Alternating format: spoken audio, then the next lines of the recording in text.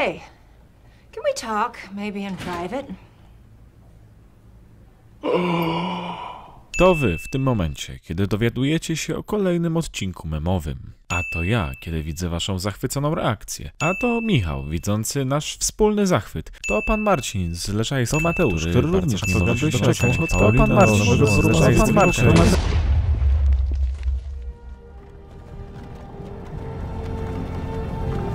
Hej, ty, mamy memy do obejrzenia. Proszę Państwa, mamy to, znaczy mamy memy, a konkretnie wracamy do kolejnego odcinku o filmowych memach, które na pewno znacie, ale tych filmów, tych produkcji, skąd te memy pochodzą, raczej niekoniecznie, albo się może poszlakowo domyślacie. E, w tym wypadku widzieliście Chrisa Prata z serialu Parks and Recreations. Nie twierdzę, że tak nie jest, ale prawdopodobnie nie widzieliście tego serialu. Wnioskuję z własnych doświadczeń, jak i również ilości ocen na Filmwebie, których jest aż cztery razy mniej niż w The Office, e, a tego serialu również dosyć dużo osób z Was nie widziało. Porównanie do biura nie jest przypadkowe, bo oba te seriale mają wspólnych twórców, a niektórzy aktorzy pojawiają się tu i tu. W każdym razie, pomimo niskiej popularności produkcji u nas w Polsce, memy z nich zostały znacznie chętniej przyjęte. Moim zdaniem konkretne kadry z serialu są znacznie lepiej znane niż źródło, no bo kto z was nie zna tej sceny, kiedy Ron Swanson wyrzuca komputer na śmietnik? Według statystyk Instytutu Danych z Dupy ten mem najczęściej pojawia się w warszawskich korporacjach zaraz przed y, fuck-upami, deadline'ami, asapami, a akurat w tym momencie zawiesza się Wam Excel. Cokolwiek to wszystko znaczy.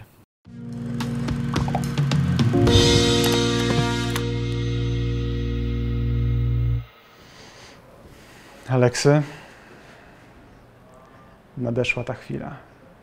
Za Twój staż w tej firmie i za akceptowalne wyniki TV Filmy dostaniesz służbowego bolida. Wow, ale super. A kiedy można go wziąć, zobaczyć coś tego? No już dzisiaj, chodź. Panie, jak Ty zobaczysz, co ja dla Ciebie mam, Już się nie mogę to będzie to. To jest ta? Ja cię zawsze chciałem mieć białą. Ty, ale o czym Ty mówisz?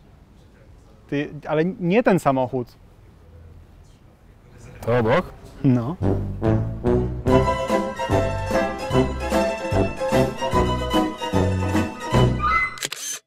Żenujące żarty, żenujące sceny i sytuacje to nasz chleb powszedni, stąd w naszych głowach nucona jest codziennie ta charakterystyczna melodia.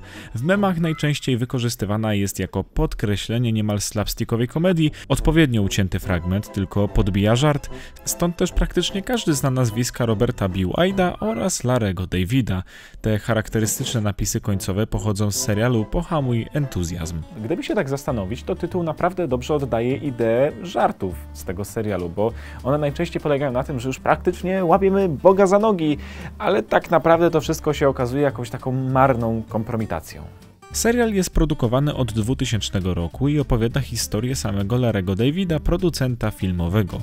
Korzenie projektu sięgają paradokumentu o tym samym tytule. Całość stanowi pewnego rodzaju spin-off kronik Seinfelda, które miały podobną konwencję paradokumentu, częściowo improwizowanego, którego producentem był właśnie Larry David.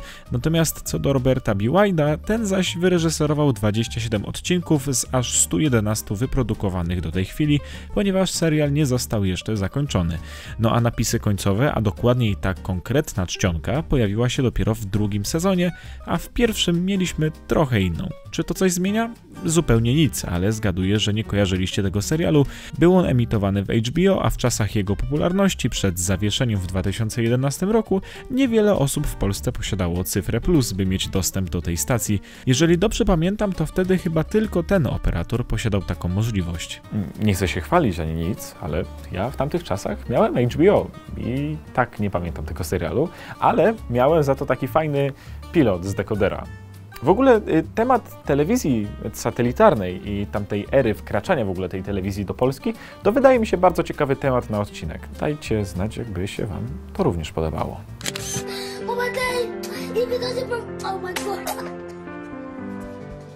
Ej, a powiedz Mars od tyłu, Te dwie piękne klatki, które są idealnym uosobieniem rozpaczy, najczęściej przesadzonej, takiej dziecięcej właśnie, pochodzą z Nollywood, czyli nigeryjskiego centrum filmowego. Dokładnie to z filmu Intelligent Student, a chłopak z tej sceny oryginalnie trzyma maczetę, czego oczywiście nie widać na tych dwóch zdjęciach. Możecie się zapytać skąd ta rozpacz. Otóż scena tak naprawdę pokazuje nam dwóch chłopców, którzy próbują otworzyć maczetą szkatułkę, w której powinny być oszczędności życia ich zmarłego ojca. Jak się okazuje, w środku jest licho, a właściwie nie ma nic poza jakimiś papierami. Dlaczego? No bo dosłownie sekundę wcześniej wszystkie pieniądze zostały ukradzione. I'm emptying everything. Oh yes. Papa.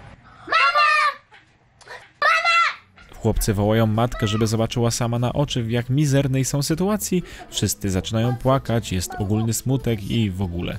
Z czego już bezpośrednio można wychwycić poszczególne klatki. Co prawda nic nie idzie zrozumieć z ich mowy, tak silny jest to afrykański akcent, ale same sceny są tak okrutnie proste, że większości idzie się domyślić, oglądając film bez dźwięku. Natomiast jeżeli bardziej Was interesuje Nollywood, no to idealnie się składa, bo mamy już taki film na ten temat, także on jest dostępny w adnotacji u górze. Co ty w ogóle robisz? Weź to schowaj. Schowaj to, masz to. To jest, to jest życie. Ale jak ty to trzymasz? Tak, tak, o, o. Przyszłość jest dziś, stary człowieku. Wyższość młodego pokolenia, które używa nowoczesnych rozwiązań do nowoczesnych problemów. Dokładnie tak działa świat, choć najczęściej mem pasuje do sytuacji, kiedy wasi rodzice albo dziadkowie usuną sobie ikonkę komputera, albo nie daj Boże zmieni im się tapeta, a wy jednym kliknięciem przewracacie stan faktyczny i to jeszcze skrótami klawiszowymi. Chociaż mi osobiście chyba najbardziej podoba się ten mem, kiedy twój dziadek ma demencję. Filmowy wygląd tego kadru od razu podpowiada nam, że pochodzi z jakiejś pełnoprawnej produkcji.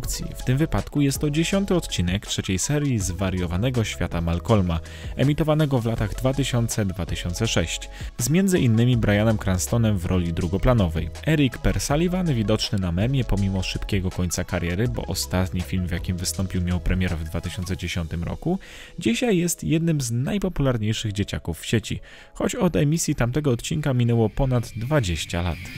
Future's now, old man. Pan słyszał o tym, że Panie, to obowiązkowo... y, ręka mnie swędzi, żeby panu przy... No, no, no, no, no, wystarczy, wystarczy, wystarczy. Ja dokładnie wiem, co się panu ciśnie na usta, proszę mi wierzyć. Mi się ciśnie dokładnie to samo, ale nie możemy sobie na to pozwolić, bo jesteśmy e, w telewizji. W każdym razie tą frustrację chyba najlepiej oddaje ten mem. W tym wypadku od razu widać, że to animacja. Raczej nikt nie zrobiłby podobnego rysunku tylko po to, żeby zwizualizować swoją frustrację. No ale kadr jest tak niekonkretny, że ciężko powiedzieć skąd pochodzi. Ponownie w tej sytuacji przybywam z odsieczą. Ta niezwykle urocza, ale zarazem groźna pięść należy do Artura, mrównika, głównego bohatera serialowej animacji o takim samym tytule co jego imię. Co ciekawe, Artur produkowany był nieprzerwalnie od 1996 roku i dopiero w tym roku finalnie zakończono 25. serię, która jest już ostatnią.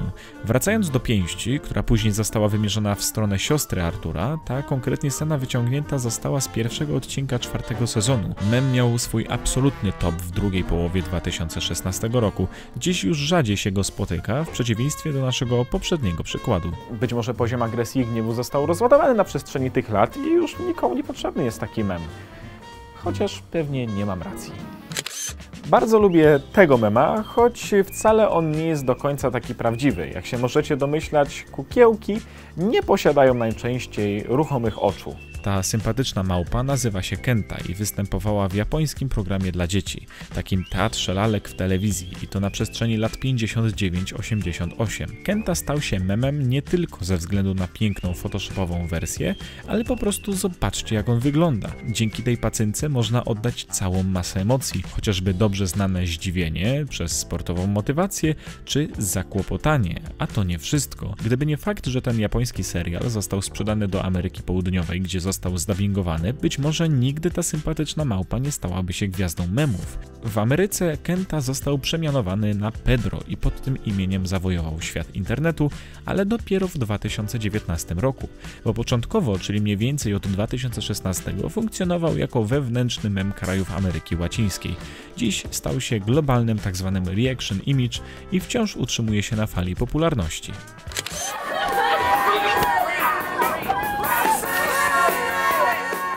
Chaos, po prostu chaos, a było tak spokojnie. Mieliśmy zjeść tylko pizzę i dobrze się bawić. Mniej więcej tak wygląda co druga środa u nas w redakcji, kiedy są nagrywane materiały redakcyjne. I powiem Wam tyle. Dzisiaj właśnie jest ta co druga środa, kiedy to nagrywam, także nie pozostało mi wiele czasu, jakieś dwie, trzy, Na szczęście mam jeszcze mikrofon w domu i tak do końca to was nie opuszczę. Ten rozgardiaż miał miejsce w czwartym odcinku trzeciego sezonu serialu Community. Generalnie cała scena wprowadzała i w sumie spopularyzowała teorię najgorszej osi czasu, która bezpośrednio odwołuje się do teorii równoległych światów. W gruncie rzeczy chodzi o to, że według tej teorii istnieje taki świat, w którym wszystko idzie najgorzej jak tylko się da, czego chyba idealnym przykładem jest cała ta scena, ale jak wiemy w memach kompletnie nie chodzi o to, żeby się nad czymś długo zastanawiać. Za to ta jedna klatka idealnie wpasowuje się w wiele różnych środowisk. Pewnie większość studentów się ze mną zgodzi, że mniej więcej tak wygląda użeranie się z dziekanatem, z nauczycielami, żeby wpisali wam oceny do USOS-a, kiedy wam są one potrzebne do zaliczenia semestru, a wam się również na tym spieszy. Bardzo pozdrawiam swoją uczelnię. He changed everything. No i na koniec mały bonus, głównie dlatego, że nie pochodzi to z żadnej produkcji kinowo-telewizyjnej, ale bezpośrednio jest związane z tym środowiskiem. Otóż kto się z nim nie spotkał? Nawet zrobiłem miniaturę do jednego z naszych odcinków z tym memem. Jeżeli oglądacie serial Arrow, to na pewno wyłapujecie o co chodzi, ale wiem, że nie jest to specjalnie popularna produkcja w Polsce, stąd też tutaj trafiła na listę. Ta fotografia została zrobiona podczas jednego z ostatnich dni zdjęciowych tego serialu, a ten bardzo zadowolony jegomość to Grant Gustin, wcielający się we Flasha, tego szybkiego kolesia w czerwonym skafandrze. No a kto leży pod ziemią w takim razie? No zasadniczo to główny bohater, Green Arrow, ale fakt faktem nie jest to kadr bezpośrednio z filmu, więc traktujcie to tylko jako bonusowy przykład. Zdaję sobie sprawę z tego, że istnieje taki kanał jak Bądźmy Poważni, który opowiada o historii memów. Być może niektóre y, fragmenty są tutaj powtórzone. Na pewno nasza japońska małpa jest również w moim odcinku, jak i osobny odcinek posiada tamten kanał. Y, Celowo nie oglądałem tych odcinków, żeby się właśnie nie sugerować. Mam nadzieję, że mi w to uwierzycie. I jakby wszelkie podobieństwo między naszą treścią y, jest zupełnie przypadkowe. I mam nadzieję, że w to też mi uwierzycie, bo chcę być z Wami szczery. Jesteście dla mnie najważniejsi. I w tym momencie z czystym sumieniem mogę się z Wami pożegnać. Także do zobaczenia następnym razem.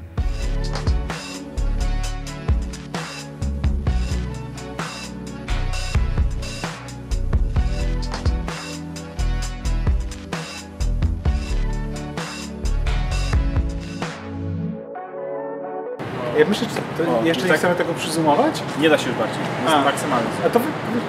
aparat gdzieś. no widzisz, dlatego ja jestem.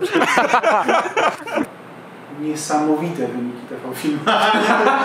nie mogę tego powiedzieć z prostą twarzą. Dobra, już.